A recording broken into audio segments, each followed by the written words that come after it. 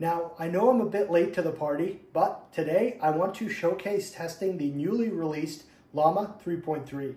For my purposes and in today's video, we're going to be taking a look at the 70B Q4KM Quant, which in other words is essentially the default model that will be pulled when you run it through Ollama, which is how I will be testing it today. So it should be pretty exciting as this does seem to be benchmarking rather competitively to not only other similarly sized models, but to the previous Llama 3.2 405B. So that is quite impressive to say the least. To begin, and keeping in mind that this is just going to be a relatively quick test of this model, I'm going to go ahead and utilize the prompt that I've been using when I test some of the new frontier models from Google or OpenAI. And essentially what it is, is just asking the model to make a simple Python synthwave outrun driving game. So if I press enter here, I am actually using AnythingLLM because I really do like the aesthetics of this interface and actually communicating with the LLM. However, this is using the Llama 3.3 70B and it is hooked up to Ollama, which is how this is working. So we can see that utilization is relatively high across either card, around 22 gigabytes. Now, keeping in mind that OBS is using around three on the first card, so it would be using about 19 gigabytes on card zero and then 22 on card one. And we can see right now that it is generating the Python script. Now, for my purposes in testing this, really what I try to do is first and foremost, see if the model can actually produce a working script on the first attempt. So any terminal errors or issues like that would be kind of a negative against the model.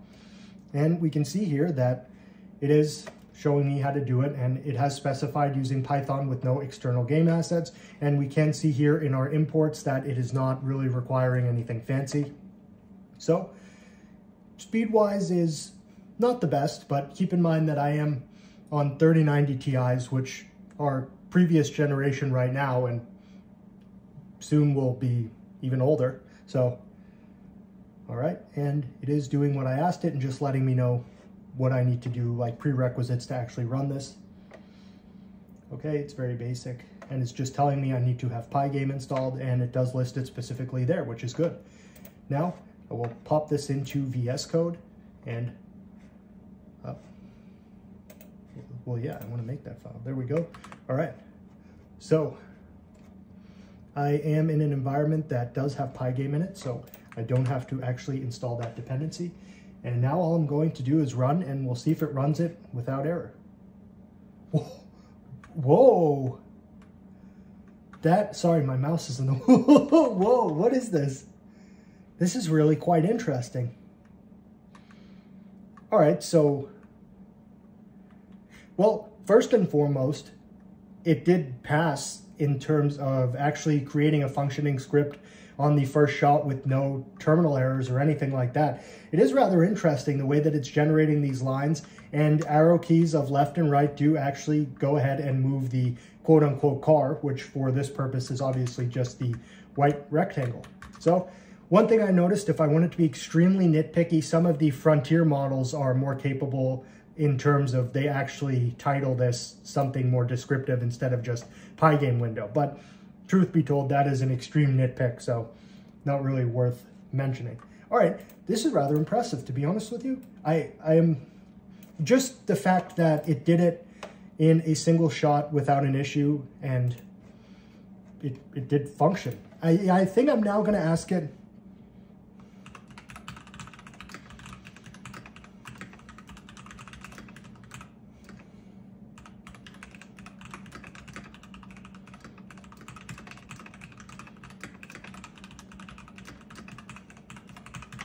All right, so I'm just asking it now, okay, this is good. Now please put in some obstacles and some collision detection. So essentially if I do crash into something, the game will end. And we'll see what it's doing, okay? We can see here that we have white, black, and red now. So we did not have any red before, I believe. So perhaps the obstacles are going to be red in color. And these right here are just um, color codes. So 255, 255, 255 is white, black is 000, and red RGB is 25500. So, and again, like I said, speed really is not the best. I am actually, while it's generating, just gonna go ahead and remove that. And card-wise, let's see how we're doing. So, not too bad. I don't power limit these cards, so the power draw is free to go as high as it wants, but we're sitting around like 200 watts max power draw per card, so not horrible. All right, so now it has finished generating this updated script and we'll see what it says here specifically. Added an obstacle class to represent the obstacles, implemented collision detection system using the check collision function. If collision is detected, it prints game over and stops. Obstacles are added randomly and it's capped at five to prevent it from just overwhelming. All right, so we'll go ahead and try this. Make sure that the imports, okay, they are all the same and good. So I'll just go ahead and run this and we'll see if, oh wow, we do have obstacles. Let's, uh, really not bad. And all right, I'm gonna hit one and game over. Okay, and it did. So it didn't show it in the Pygame window, it just printed it in the terminal here, but I will say for all intents and purposes, that did correctly do what it said it did. Overall, really not bad. It was able to do this both times without throwing any terminal errors and things like that. So I would say that this is relatively acceptable, and I mean that in a good way. Now for the final test, I am essentially going to stick with the script that it has generated. However, I'm just asking it to add in a scoring system and some general improvements to the game's logic and graphics. Now, this will take a while for the actual response to begin as I had to close out of this and do something else. So the model will actually need a bit of time to load up and things of that sort. So I will fast forward until the output starts coming in. All right, so it loaded and now we are getting our response, which will inevitably take a bit of time. So I will likely go ahead and fast forward through this as well. However, this is just cool to see. So we now have a green color here. So I would maybe have to assume that that is going to be the score um, text or something like that.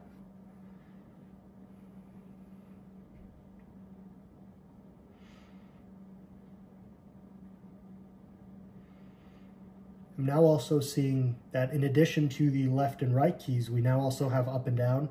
So perhaps there is a way to actually speed up or slow down. Ah, so the car is now green, okay.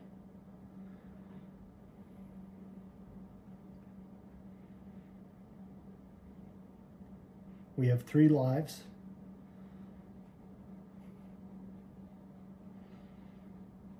See the scoring logic here.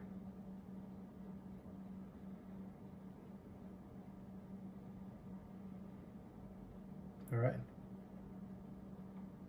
So if we avoid an obstacle, our score goes up by one, and if we hit one, we lose a life. All right. I'm excited. I, I know it's weird. I was just like, I already know kind of what it's going to look like, and it'll be cool. Is that, oh, it's not done. I apologize, model. I cut you off. Okay. So it tells us just the changes and additions, and it has also suggested some future improvements. All right. Let's go ahead and test this out.